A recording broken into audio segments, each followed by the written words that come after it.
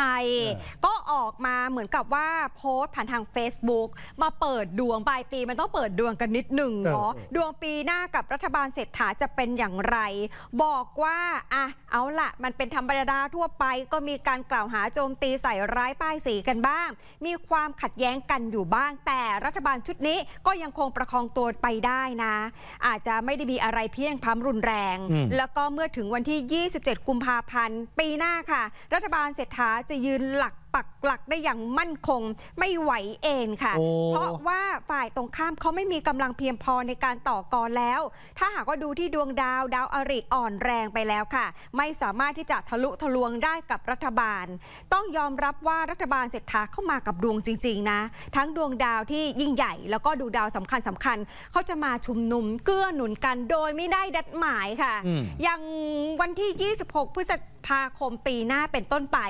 อาจจะมีการกระชับอำนาจของพรรคเพื่อไทย ทั้งการควบรวมโอ้โหของพันธมิตรทางการเมือง เข้มแข็งขึ้นอืมมีพลังแรงมากกว่าเดิม เพราะโอ้ว่าในขณะนั้น สวชุดเก่าหมดวาระแล้อ๋อ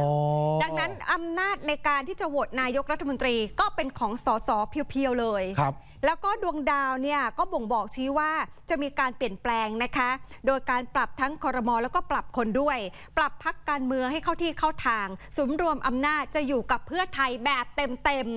ทีเนี้ยค่ะโหนวันชัยยังฟันธงด้วยนะคะว่าการชุมนุมประท้วง หรือว่าจะเป็นการปฏิวัติรัฐประหารเหตุการณ์ความรุนแรงทางการเมือง เท่าที่ดูตอนเนี้ยยังไม่มีปรากฏให้เห็นอืมถ้าจะมีก็แบบอาจจะเป็นม็อบเล็กๆน้อยๆม็อบเกี่ยวกับอาชีพการงานที่เขายังไม่ได้รับการดูแลช่วยเหลือ ก็อาจจะมารวมตัวกันบ้างอ๋อค่ะแต่คุณวันชัยบอกฉลุย ฉลุย ปีหน้ารัฐบาลคุณเศรษฐาฉลุย ค่ะ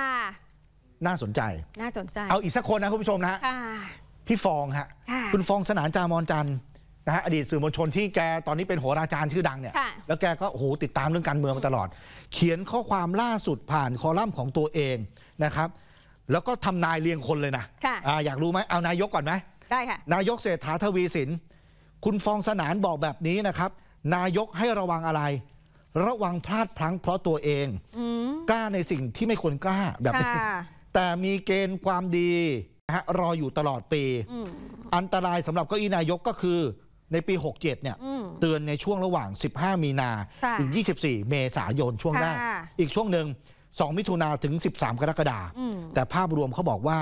ยังมีเกณฑ์ความดีรออยู่ตลอดปีนะเออก็น่าจะผ่านไปได้นะก็แต่ให้ระวังนะเออก็ใกล้เคียงนะอ่าอ่าอ่าเอออ่าคุณอนุทินชาญวิรกูลค่ะอีกคนหนึ่งที่คุณฟองออกมาบอกนะครับอืมบอกคุณอนุทินเนี่ย มีเกณฑ์อะไรที่เสียไปแล้วจะได้กลับมาตลอดอืมมีหน้าแกเป็นรัฐบาลตลอดเลยนะ ใช่ค่ะเออแม้จะได้แบบทุกขโชคหรือทุกขลาภอะไรแบบนี้นะครับ ก็บอกว่าช่วงจะเป็นบวกคือดีของชีวิต 5 กุมภาถึง 23 เมษาค่ะให้รอไปถึง 5 พฤษภาดวงชะตาจะยิ่งแจ่มกว่านี้อีก นี่คุณอนุทินนะอ่าเออจะมีอะไรจะแจ่มกว่านี้อีกคะเนี่ยเอออ่่าส่วนอีกคนนึงค่ะ คุณอุ้งอิงแพเออทองทานชินวัตรค่ะ ตอนนี้ก็อยู่ในฐานะเอ่อหัวหน้าพรรคเพื่อไทยใช่ไหมคะครับบอกว่าตั้งแต่ต้นปีหน้าเลยจนถึง 21 สิงหาคม มีเกณฑ์จะได้เป็นเจ้าฮะจะได้สถาปนาอืมถ้าเป็นคนธรรมดาเนี่ยจะได้เป็นพระยานาหมื่นโอ้เลื่อนยศเลื่อนขั้นตามระดับวาสนา เออยังไงอะแต่หัวหน้าเพื่อไทยก็เป็นแล้วจะเป็นอะไรอีกอะเป็ นแล้วนายกเหรออ้าวคุณอุ้งอิงเป็นแล้วคุณเศรษฐาล่ะอ้าวก็เขาบอกมีนายกสองคนไหมอะอ๋อ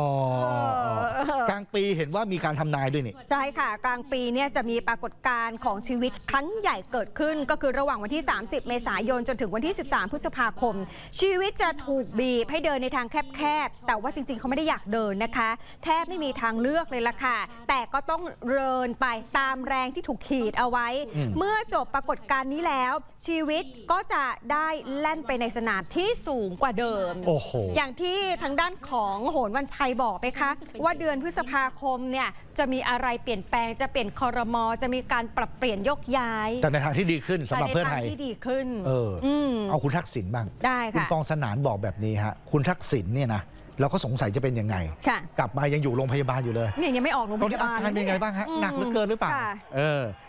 คุณทักษิณนะครับ อยากได้อะไรต้องสู้หนักและสู้ตลอดไป แต่หัวหน้าเทวดาประจำตัวจะเริ่มเข้มแข็งอืมหลัง 30 เมษาเป็นต้นไปนะฮะ อาจจะได้สถานะใหม่คือ หลุดจากคุกหรือโรงพยาบาลอืมหลุดจากคุกนี่คือยังไม่เคยเข้าคุกอยู่แล้วไง